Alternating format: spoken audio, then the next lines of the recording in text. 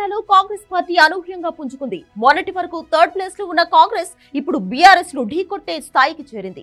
ఓ పక్క చేరికలు మరో పక్క కొత్త పథకాల హామీలతో ప్రజల్లో ఆదరణ సంపాదిస్తోంది.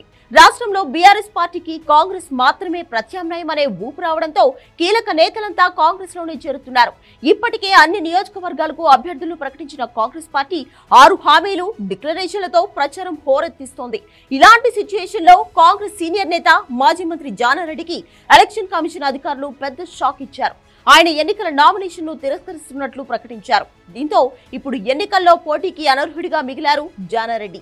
రాష్ట్రంలో ఇప్పటికే నామినేషన్ల ప్రక్రియ ముగియగా ఈ నెల పదమూడున నామినేషన్ల పరిశీలన ప్రక్రియ చేపట్టారు ఈసీ అధికారులు. ఇందులో భాగంగా చాలా వరకు నామినేషన్లను తిరస్కరించారు. రాష్ట్ర వ్యాప్తంగా మొత్తం ఆరు వందల ఎనిమిది నామినేషన్లు తిరస్కరణకు గురయ్యాయి. ఇందులో జానారెడ్డి నామినేషన్ కూడా ఉన్నట్లు అధికారులు వెల్లడించారు. ఓ పక్క నుంచి జోరులో కాంగ్రెస్ పార్టీ ప్రచారం చేస్తున్న వేళ సీనియర్ నేత ఎన్నికలకు దూరం కావడం ఇప్పుడు చర్చనీయాంశంగా మారింది.